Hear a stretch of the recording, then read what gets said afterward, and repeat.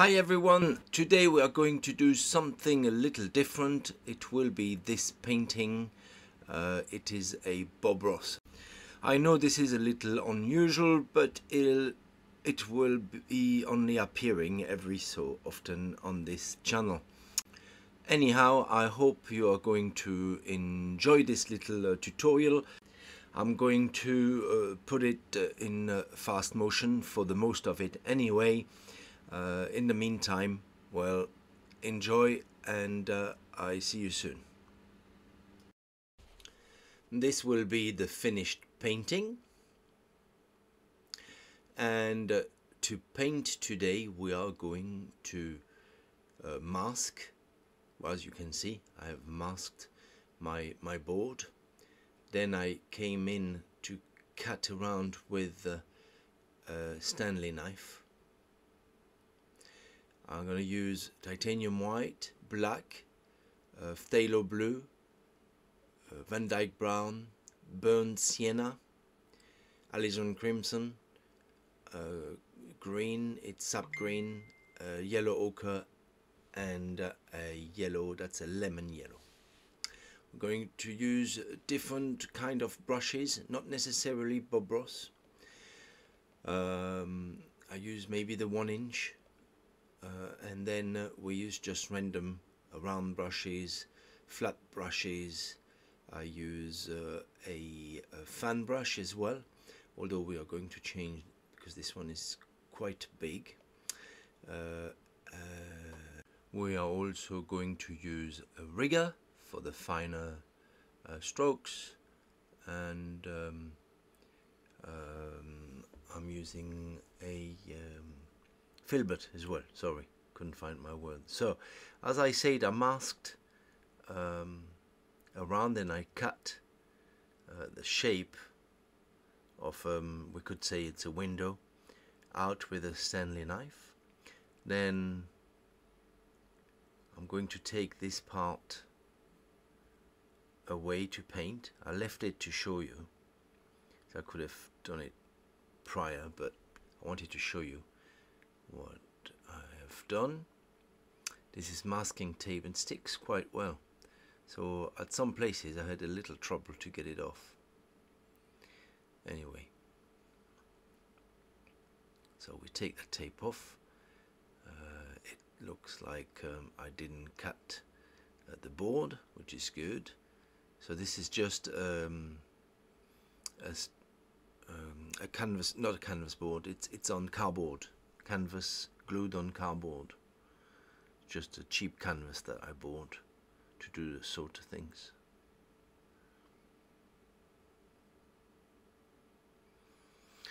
And there we are. So we're left with that window shape that we are going uh, to paint over at some places later on. You know, proper Bob Ross style, I'm sure you, you've seen that before. Um, so it's not a just the one inch brush. I'll come back to what I was saying later on. Uh, and I put some liquid around. Instead of using the magic white that Bob Ross uses uh, I use some liquid. You can see in the back I haven't said uh, I did just a, a, quick pencil sketch there here. See? Uh, most will disappear when I put the white on top of it. But uh, it's just there so I can remember uh, where to put my first lines in. So I cover everything with um, liquid and on top of that I will put some uh, white, titanium white and that will do exactly the same, uh, it will have the same purpose as the magic white of Bob Ross. Um, all the magic white does is um, slow down the drying and um, been able to really mix the paint on the canvas. So it gives us a slick portion. So I don't put any on the mountains or very little. Uh, it's mainly in the sky and in the water down below. So with that same brush we dip in, in a little bit of alizarin crimson and uh, now we're starting to go faster. So, uh, anyway, you have, I know in the UK uh, and in the States, you have loads of Bob Ross and other style, and loads of painters who paint in this style. So, it's not really a, a teaching video, this is just a, a quick tutorial to show you that I do sometimes enjoy to paint, paint in this style, and um, well, some of you still like it. Uh, I can bring some little different as I don't necessarily stick with all the Bob Ross material so that could, could give you some ideas as well. So it's just for you to enjoy and see something different. Um, as you can see, uh, I think all the rest will be in uh, fast motion now. So I'm going to add a cloud in there. I use a filbert brush. Uh, I load mostly on top of the brush make the shape that I want fairly easy uh, and then we smooth out the bottom if we need a little bit more color then we add a bit more color underneath to get a second layer in as you can see I leave the tops quite crisp and that will make a big difference in in how the cloud will look. You can come back at all times to reshape it if you want to. So there's the side of my mountain. I want to have that cloud coming back out on the other side. I'm smoothing, uh, smoothing the, the cloud now with uh, a um, round brush, soft round brush. This canvas is quite small, so I can't use big brushes on it. But we adapt Bob Ross style with anything really. You know, I believe Bob Ross style could um, well work outdoor as well, um, and plein air painting.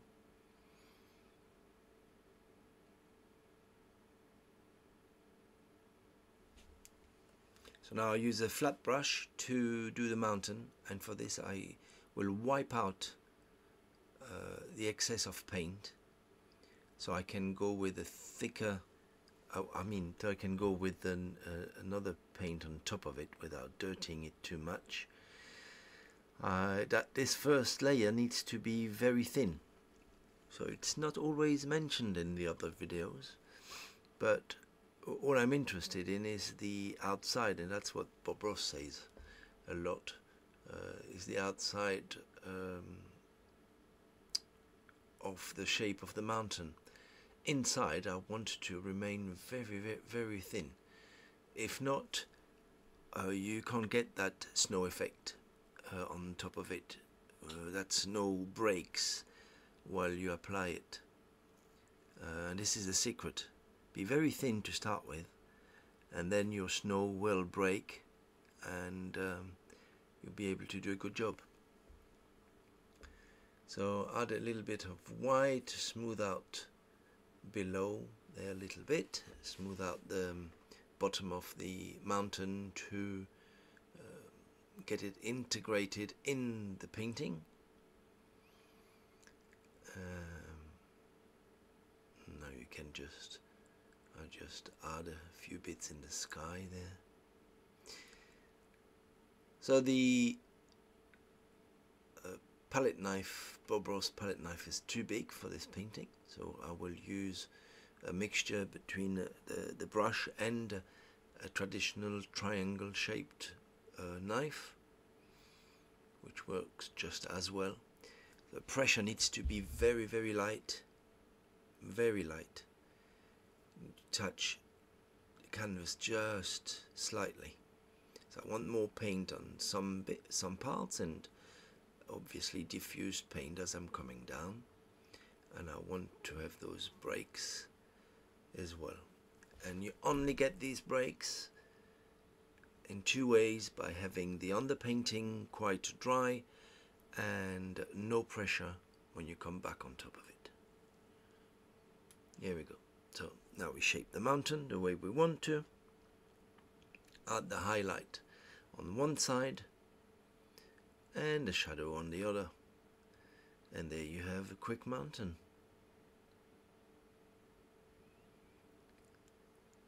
It's a very easy way to uh, create mountains. Quick and easy. So for that we add a little phthalo blue and the white to now all these shadow shapes be careful not to cover all the dark especially in the shadow and keep the shadow thin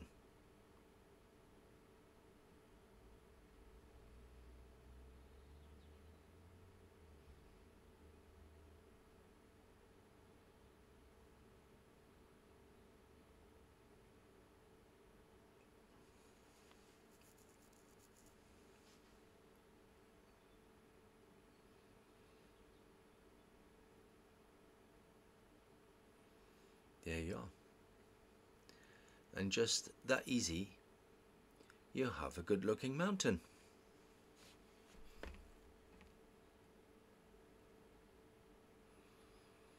So now, as always, we smooth out the bottom.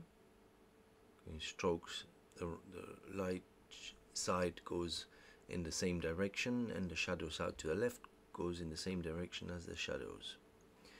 Now I'm uh, drawing in a hill, the back hills. There'll be two back hills, uh, and I will uh, mix a bit of blue and uh, green. I'm after something um, a bit turquoise, a light green, blue green, um, to put that first hill in, because it's quite far, so we don't want something high in chroma or even something that well that wouldn't fit. As easy as that. So blue green. I didn't go blue completely because well there's not that much depth so. And now we're adding a second hill darker so I go quite dark, I add blue, alizarin crimson and the sap green for my second hill. And then we play with colors, a bit, a few more greens, light greens to um, painting some far trees. Get a little bit more detail in there. And there we're having our line, so I will stop here our water line and we will build up a little bit of land. I'm just going to do it with a flat brush. So I've got my land coming here to the side. Try to be straight.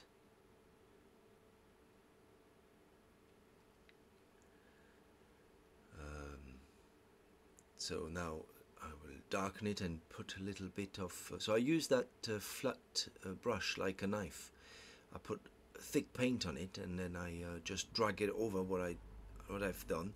But I need some ridges in there for the highlight to stick out when I'm ready to put the highlights in. Just realized I forgot to put the water in but never mind. It will actually help with the shadows to put it in now I do the water with uh, phthalo blue and um, and some green, sap green mixed in. I'm to leave a little um, gap in the middle to do to give a shine to the water. So in this little bit will just serve as a shine on the water, just effective. So on the front I just mount my uh, my grass patch I will have there with my trees. Here I put the um, the hills, the color in the hill for, as a reflection, but you'll see towards the end I'll have to darken it. It wasn't quite dark enough. For now, it is in there. Now we will do the waterline or the highlights first. For that I'd take um, burnt sienna and white and get some highlights on top of those um, of that earth which will be um, taken out a bit once I put some bushes in. We'll see. Waterline, a bit of blue and white. So this knife is not ideal for the waterline because it's very bendy, but we'll still manage. Don't take just pure white, mix it in with your watercolor a little bit. It just looks a little better, I think. So now we're going to make the trees, this the um, evergreen, and we'll leave them uh, dark with no highlight as they're far away. So we need some texture still in there.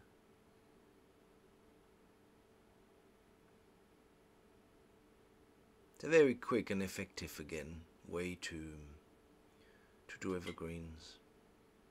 I decided to put a few in the picture. That one can be a bit bigger as well. I could have gone even bigger if I wanted to, but anyway, it's it's would would appear not to to in front in the front. So here we go. Now. Uh, add bushes in on top of it and towards the land. I'll make sure I'll have enough paint to create again some uh, ridges so my highlight will stick on it later on oh now I'll um, put a tiny bit of medium uh, on the highlight so the paint the thinner paint will stick on the thicker paint underneath. In this method, uh, often have the question, but should we not go uh, thin first and thick after, meaning uh, less diluted and um, more oily on top? Well, it doesn't really matter when you paint alla prima.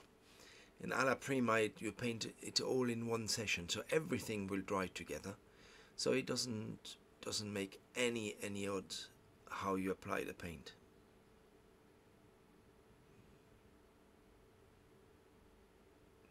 So there we go. So we have the further trees back. Now let's take that tape off. It was quite a bit of a struggle. So I cut through that a bit quicker.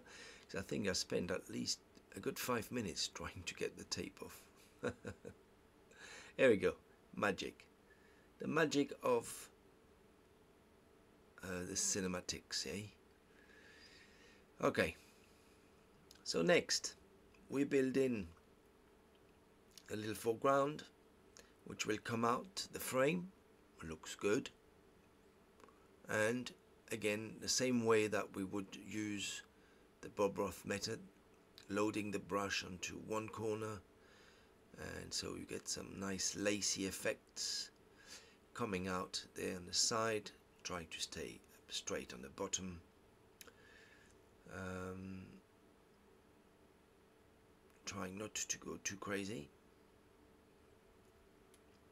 I always overdo this stuff. Now we are going to put the highlights on top. Again for the highlights I have a touch of medium on it but not much so I want a bit of everything, some greens, some yellows, some sort of just vary the colours. Um, tapping in some grass there, having to turn the brush around because the, bottom of the easel was in my way. Nevertheless, as long as you got an effect, you tap the brush flat into the paint and then onto the canvas and there you are, you've got some nice grass effects. Okay, so clean a bit that palette. I'm a bit messy, aren't I? Here we go. It's much nicer, a bit yellower. Don't cover everything. Leave some darks. Yeah. The uh, light comes from the right, so you cover mostly the right side. A couple of blades of grass. Don't overdo it again. And uh, now we are going to put in the trees.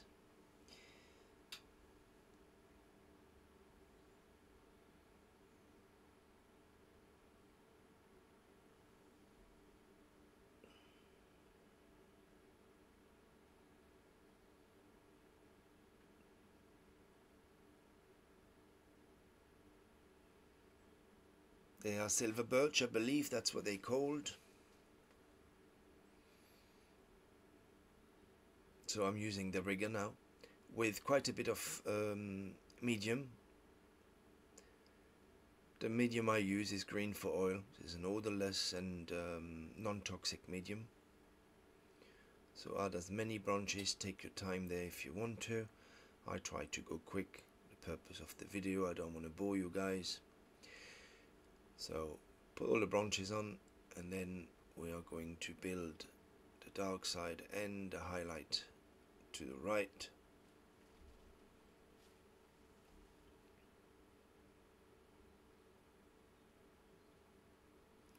So I use that flat brush and coming down to one side. Normally I should be doing it from right to left but that meant I'd be in the camera, in the shot I mean, and you wouldn't have seen what I'm doing. So I'm doing it left to right. It doesn't matter to me. It's not as neat, uh, but it will do for purpose of this video.